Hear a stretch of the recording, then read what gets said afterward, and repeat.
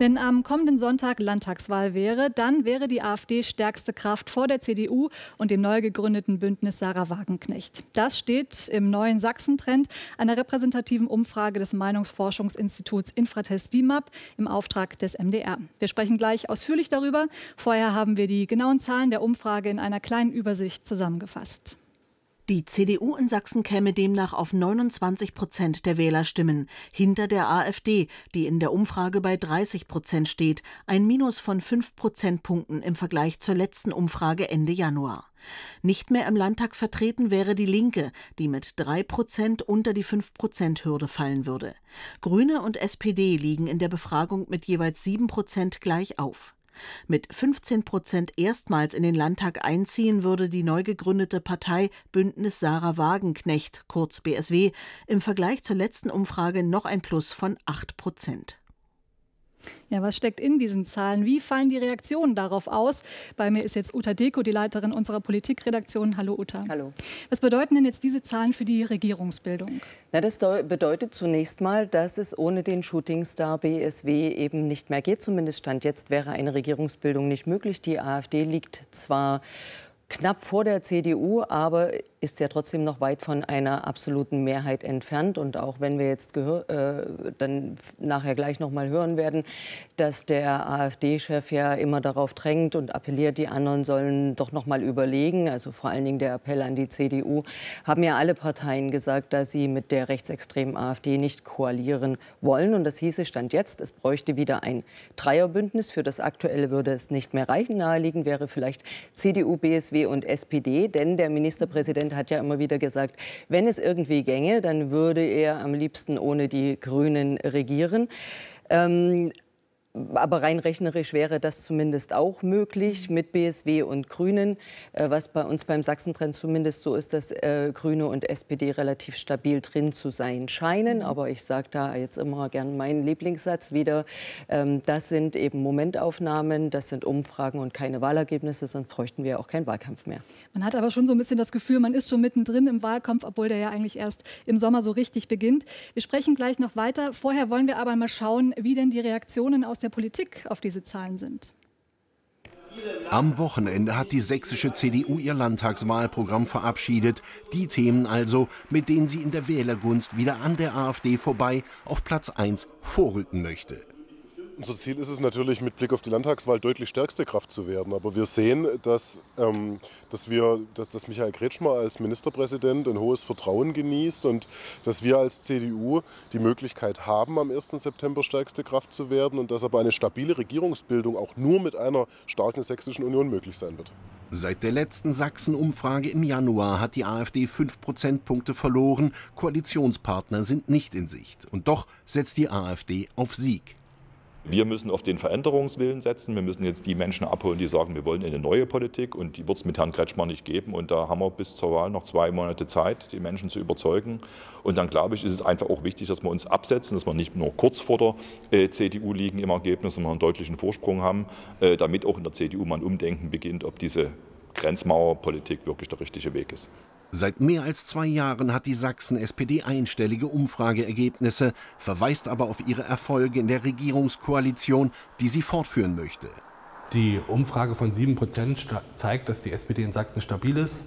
Ähm, sie zeigt aber auch, dass es bei der Landtagswahl ähm, zwei Stellen auf die SPD ankommt. Nämlich einmal, wenn es darum geht, eine stabile Regierung zu bilden und als zweites, dass es darum geht, dass es eine soziale Kraft in der zukünftigen Regierung gibt. Die CDU schafft das alleine nicht. Mit SPD und CDU weiter regieren wollen die sächsischen Bündnisgrünen. Trotz aller Querelen mit der Union sei das die einzige stabile Option.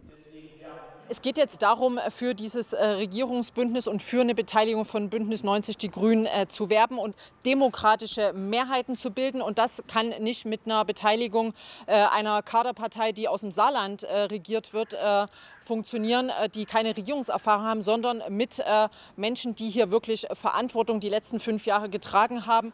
Ein Seitenhieb gegen das Bündnis Sarah Wagenknecht. Bei nur 64 Mitgliedern in Sachsen kann das BSW durchaus mit 15 bis 20 Landtagsmandaten rechnen.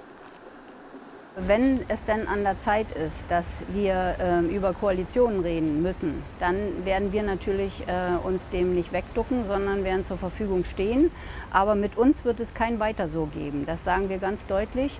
Denn wir sind nicht die Mehrheitsbeschaffer für die CDU, sondern wir werden wirklich politisch was verändern im Sächsischen Landtag. Die heutige Vorstellung ihrer Wahlkampagne wird bei den Linken getrübt durch die Umfrage. Erstmals muss die Partei wohl um den Wiedereinzug in den Landtag zittern. Ich bin abgeneigt davon zu sagen, ich suche den Fehler bei den anderen, sondern den suche ich bei mir und wir schauen jetzt, dass wir die zweieinhalb Monate nutzen können, um uns bemerkbar zu machen und deutlich zu machen, dass wir die soziale Stimme in diesem Land sind. Noch hinter den Linken landet in der Umfrage die FDP und damit bei den sonstigen oder anderen Parteien. Aufgeben wollen die sächsischen Liberalen aber nicht. Soweit also die Reaktion aus der Politik auf die Ergebnisse der repräsentativen Umfrage Sachsen-Trend. Uta, lass uns da noch mal ein bisschen mehr ins Detail gehen. Es wurde ja in der Umfrage auch nach den wichtigsten politischen Problemen gefragt. Welche sind das denn? Naja, da werden natürlich die Parteien jetzt auch noch mal ganz genau drauf schauen, was die Menschen da sagen. Und äh, die Umfrage bei uns hat ergeben, dass die Migrationsfrage an erster Stelle steht. Das ist genauso zu erwarten. Hier sehen wir die Grafik dazu. Zuwanderung, Flucht, 44 Prozent der Wahlberechtigten sind der Meinung, das ist das wichtigste Thema eben auch in Sachsen. Was dann aber bei dieser Grafik schon überrascht, ist, dass das Thema innere Sicherheit, Kriminalität, Terror auf dem letzten Platz gelandet ist, dort sozusagen abgerutscht ist. Ich denke, das wird den Parteien ähm, eine gehörige Denkaufgabe äh, sein, das zu interpretieren, was die Wähler damit ausdrücken wollen.